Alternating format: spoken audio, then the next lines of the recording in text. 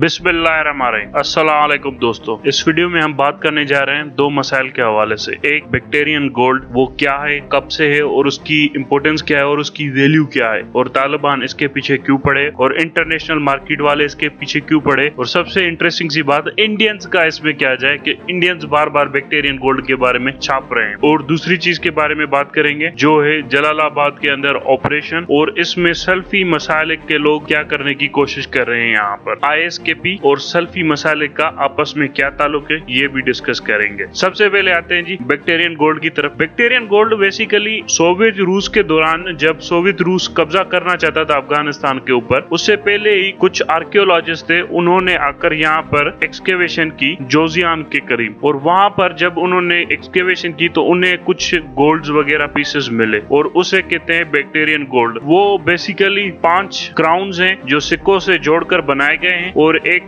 कुछ नेकलेसेस हैं कुछ पाँव में पहनने की चीज़ें हैं और, और कुछ चुनिया वगैरह हैं। और ये डेट तकरीबन जाती है तकरीबन एक सेंचुरी के करीब जाती है। जब इसकी कार्बन डेटिंग की गई तो तकरीबन ये एक सेंचुरी तक जाता है। मतलब फ़र्स्ट सेंचुरी से ये गोल्ड यहाँ पर पड़ा हुआ है। अब यहाँ पर ये गोल्ड किसने रखा कहाँ से रखा इसके बारे में डिस्कस कर लेते हैं। यू कह लीजिए पार्थियंस सिथियंस और रोमन एम्पर यहाँ पर आते जाते रहते थे। उन्हीं की वजह से यहाँ पर कुछ सिविलाइजेशन भी आबाद थी और कुछ चाइनीज़ योजक आबादी थी, वो भी यहाँ पर आबाद थी। यहाँ गंदेरा के कुछ लोग थे, वो आबाद थे। उन पर जब भी कोई हमला करता था तो वो कोशिश करते थे कि अपना सोने की चीज़ें या वैल्यूएबल एसेट्स हैं, वो ज़मीन के अंदर छुपा दे और जिसके बाद वो वहाँ से फरार हो जाते थे। या हो सकता है कोई नेचुरल क्लेमिटी आ गई हो, जिसकी वजह से वो यहाँ से चले गए हो। सो ये पुराने सारे लोग थे, अपना सामान रख देते थे और वहाँ से चले जाते थे, किसी और जगह पर जाने के लिए, क्योंकि खाने पीने की कमी होती थी। वेरियस अदर रीजन की वजह से वो ट्रेवल करते रहते थे। या हमला हो सकता था या खाने पीने की कमी हो सकती थी। सो so, वहाँ पर ये रख देते और उसके बाद हम इसे एक्सकेवेट करके निकालने की कोशिश करते। हैं अब बहुत सारी गुफाएँ वगैरह हैं जो ज़मीन की हमने खोदी है उसके बारे में हमें साइंटिफिक रिसर्च भी मिलती है। साइंस के लिए भी वो काफ़ी इंपॉर्टेंट होती है क्योंकि कुछ केव्स हमने खोली है। वहाँ से हमें होमोसेपियंस और पिछले मोंकीज के बारे में पता चला है कि कैसे एप्स इवॉल्व हुए हैं ह्यूमंस में वगैरह वगैरह। सो इसी तरह से यहाँ पर भी रशियंस ने आकर जब एक्सकेवेशन की तो उन्हें गोल्ड मिला। और इस गोल्ड को डेट किया गया तो फ़र्स्ट सेंचुरी का निकला और फ़र्स्ट सेंचुरी में भी रोमन और सिथियन और पार्थियंस का निकला। फिर इस गोल्ड की हो गई वैल्यू और इस तरह से अफ़गानिस्तान की ज़मीन की वैल्यू बढ़ गई। क्योंकि यहाँ पर अब एस्टिमेट किया जाता है कि तकरीबन चार से पाँच ट्रिलियन डॉलर के वैल्यूएबल हिस्टोरिकल आर्टिफैक्ट्स मौजूद है अफ़गानिस्तान की ज़मीन के लिए। पाँच से छह ट्रिलियन डॉलर के वैल्यूएबल आर्टिफैक्ट्स अगर अफ़गानिस्तान की ज़मीन के अंदर मौजूद हो तो आप सोच ले कि अफ़गानिस्तान को और किसी से पैसे मांगने की ज़रूरत ही नहीं है। इसीलिए तालिबान का सबसे बड़ा खदशा यही था कि ये बैक्टीरियन गोल्ड कहीं अशरफ गनी अपने साथ ले तो नहीं गया। इसका मसला क्या था? क्योंकि सोवियत यूनियन के बाद ये बैक्टेरियन गोल्ड गुम हो गया था। 2003 में जाकर ये दोबारा दिखाई दिया है कि ये बैक्टीरियन गोल्ड मौजूद था। तालिबान ने जब 15 अगस्त को अफ़गानिस्तान पे टेकॉन किया, काबुल फतेह किया तो सबसे पहले तालिबान यही ढूंढ रहे थे कि ये बैक्टीरियन गोल्ड किधर गया? कहीं अशरफ गनी ले तो नहीं गया। अगर अशरफ गनी ये बैक्टेरियन गोल्ड ले जाता अपने साथ तो फिर तालिबान बड़ी सख्ती से निपटते सब लोगों के साथ। लेकिन उन्हें अब ये बैक्टेरियन गोल्ड वापस मिल गया है। इसीलिए जो लोग रो रहे थे ना कि काबुल के एयरपोर्ट पे जहाज़ टूट गए, तालिबान को कुछ नहीं मिला, तालिबान को इसकी परवाह भी नहीं थी, क्योंकि उनकी सारी नज़रें बैक्टीरियन गोल्ड के ऊपर थी। अब तालिबान की जो हिस्ट्री और कल्चरल मैनेजमेंट की जो मिनिस्ट्री है, उस सारे ने दोबारा से कोशिश की है कि सारा का सारा बैक्टीरियन गोल्ड ढूंढा जाए। और बहुत बड़ी तादाद में यहाँ पर बैक्टेरियन गोल्ड मौजूद है। उस टाइम पे जब सोवियत ने एक्सकेवेशन की थी, उन्होंने तो वन परसेंट भी एक्सकेवेशन नहीं की थी और उन्हें इतना वैल्यूएबल एसेट्स मिले। और जिसकी कार्बन डेटिंग भी नहीं हुई थी, कोई ज़्यादा रिसर्च प्रोसेस पे नहीं कैरी आउट किया गया। बल्कि उस टाइम पे तो सारे लोग जंगों में मसरूफ हो गए थे, वरना अगर इस पर काम होता तो आज बड़ा कुछ मिल सकता था। लेकिन अब जब अफ़गानिस्तान के अंदर अमन है, तालिबान फुल स्केल एक्सकेवेशन करने की कोशिश करेंगे कि बैक्टीरियन गोल्ड को निकाला जाए। और अब इसके हवाले से वो तालिबान सोच रहे कि इसका म्यूज़ियम भी बनाया जाए ताकि लोगों से पैसे कमाए जाए या फॉरेनर्स आना चाहे। और दूसरी इंटरेस्टिंग सी बात यह है कि बैक्टीरियन गोल्ड को कभी किसी ने ज़्यादा देखा नहीं है। कुछ पुरानी सी तस्वीरें, अगर इस वक्त भी तालिबान ऑक्शन करते हैं ऑक्शन ना कहे तो यूँ कहे कि म्यूज़ियम में रख के ओपन करते हैं तो दुनिया भर के हिस्टोरिकल आर्कियोलॉजिस्ट भागते हुए आएँगे बैक्टीरियन गोल्ड को देखने के लिए, क्योंकि ये काफ़ी वैल्यूएबल सी चीज़ थी। हाउएवर अब तालिबान को पता चल चुका है कि ये सेंट्रल बैंक में पड़ा हुआ है, और अब तालिबान इसे बिल्कुल अलग जगह पर प्लेस करने की कोशिश करे 2003 में प्रोजेक्ट बनाया था अशरफ गनी की हुकूमत ने, और हामिद करजे की गवर्नमेंट ने एक म्यूज़ियम बनाया जाएगा, वहाँ पर रखा जाएगा। वो उसे कंप्लीट ना कर सके, लेकिन तालिबान का वायदा है कि, और तालिबान क्लेम कर रहे हैं कि हम इस बैक्टीरियन गोल्ड के वाले प्रोजेक्ट को कंप्लीट कर देंगे। देखते हैं कि आने वाले दिनों में क्या होता है। अब इसमें इंडिया का क्या होता है? इंडिया क्यों कूद रहा है बैक्टीरियन गोल्ड के हवाले से? इंडियंस कह रहे हैं कि गांधीरा सिविलाइजेशन थी, ये हमारे पुरखों की कमाई है। अब तुम बताओ कि तुम्हारे ये भगवान किधर किधर घुसे हुए हैं? मुझे ये समझ में नहीं आता। जब भी, जहाँ भी कुछ भी निकलता है ना, इंडिया क्लेम करने जाता है कि ये हमारा है। कोहिनूर के ऊपर इंडियंस का क्लेम है। अबे, कोहिनूर तुम्हारा कब से हो गया? कोहिनूर यहाँ से कंधार से निकला था, फिर हिंदुस्तान पहुँचा, फिर हिंदुस्तान से वापस कंधार पहुँचा फिर कंधार से वापस हिंदुस्तान से गया और फिर हिंदुस्तान से ये गया बर्तानिया। अब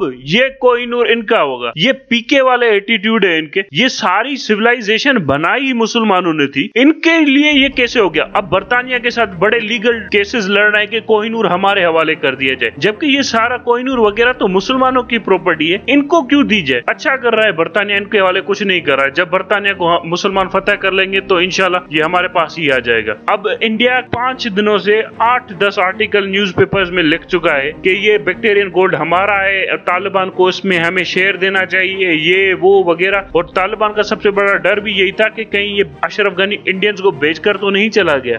However things out very well for Taliban के बैक्टेरियन गोल्ड उनको मिल गया है और उनके माली मसाइल भी काफ़ी ज़्यादा हल हो गए हैं यूएन की हेल्प के बाद। अब इंडियंस को सिंपल सा पैगाम है, जो बैक्टेरियन गोल्ड के ऊपर आखिर दाड़ के बैठे हुए हैं कि भाई, ये बैक्टीरियन गोल्ड आपकी मिल्कियत नहीं है ये पर्शियंस सिथियंस पार्थियंस और रोमन के यहाँ पर आने जाने से बना हुआ था। ये बैक्टीरियन गोल्ड वहाँ से आया हुआ था। अगर इसका कोई जिम्मेदार बन सकता है या कोई इसके ऊपर हक जमा भी सकता है तो वो चाइनीज़ है जो गांधेरा से ऊपर से आए थे, तिब्बत के यहाँ से। और दूसरे हो सकते हैं पर्शियंस हो सकते हैं पार्थियंस हो सकते हैं सिथियंस हो सकते हैं या तुर्क हो सकते हैं जो यहाँ से ही पैदा हुए थे। अफगान हो सकते हैं, क्योंकि इस वक्त अफगान की ज़मीन है या रोमन थे। रोमन जो वेस्ट में वो क्लेम कर सकते हैं। आप कब से हो गए बैक्टीरियन गोल्ड के मालिक? सो अब तालिबान के लिए काफ़ी अच्छी अपॉर्चुनिटीज़ डेवलप होती हुई जा रही हैं और तालिबान को ये अच्छी तरह से पता है कि उनकी ज़मीन के नीचे काफ़ी सारी चीज़ें हैं। इस गोल्ड के अलावा और ज़्यादा मैदनियात भी मौजूद है जो तालिबान एक्सप्लॉइट कर सकते हैं आने वाले दिनों में। यहाँ पर एक छोटी सी क्लेरिफिकेशन देता चलूँ।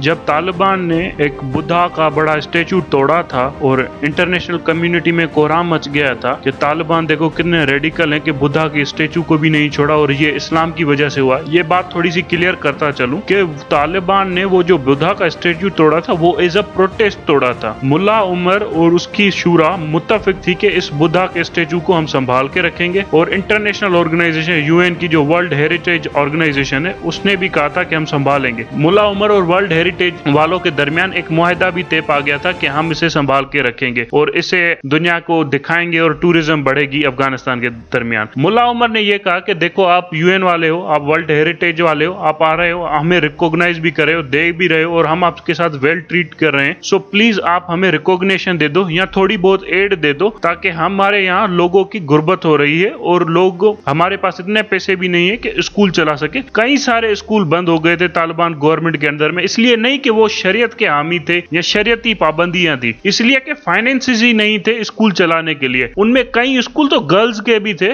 गर्ल्स के स्कूल भी इसीलिए नहीं चल सके क्योंकि पैसे नहीं थे स्कूल चलाने के लिए। फिर मुला उमर ने वर्ल्ड ऑर्गेनाइजेशन के साथ यही कंप्लेन की कि भाई, हमें फ़ूड आइटम्स वगैरह चाहिए। तो यूएन वालों ने पलटकर जवाब ही ना दिया और वो अपने काम में लग गए। इसीलिए आया तालिबान को गुस्सा और बुलाई टैंक और फोड़ दिया बुद्धा। सो यहाँ पर लोगों को बड़ी कंफ्यूजन है कि तालिबान इस्लाम की वजह से ये सब कुछ करते नहीं, वो मसला हुआ था खाने पीने की वजह से। और किसी को शक है ना तो फॉक्स न्यूज़ के पुराने इंटरव्यूज़ पड़े हुए तालिबान के और वो सारे जाकर कोई देख सकता है। जो इस वक्त एक्सट्रीमिज्म या इस्लाम के नाम पर सख्ती दिखाई जा रही है तालिबान के अंदर, वो 1996 में तालिबान ऐसे भी नहीं थे। वो उस टाइम की मीडिया कम होने की वजह से वो तालिबान काफ़ी ज़्यादा मॉडर्न थे आज के तालिबान से। आज के तालिबान तो मुझे लगता है विक्टोरियन गोल्ड वाले मामले में बड़ा इशू खड़ा कर देंगे कि आप म्यूज़ियम कैसे बना रहे हो। लेकिन उस टाइम के तालिबान ऐसे नहीं थे। सो दुनिया ने जिन तालिबान के ऊपर हमला किया कि ये एक्सट्रीमिस्ट हैं, वो कम थे और जो अब बचे हैं,